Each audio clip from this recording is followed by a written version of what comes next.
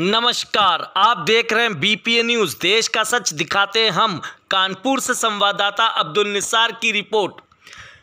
आज सातवें अंतर्राष्ट्रीय योग दिवस के अवसर पर पूरे देश में योगा किया गया। इसी कड़ी में देश के जवान भी पीछे नहीं रहे। सीआईएसएफ की कंपनी कश्मीर में स्थित दुर्गम पहाड़ियों पर कंपनी कमांडर परवेज एहसन द्वारा अपनी कंपनी को योग दिवस के अवसर पर सभी जवानों ने योग किया और सभी देशवासियों को संदेश भी दिया, योग करें और रहें निरोग। देखें खास रिपोर्ट।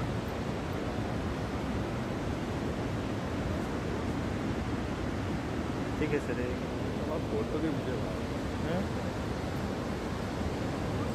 हाँ। हाँ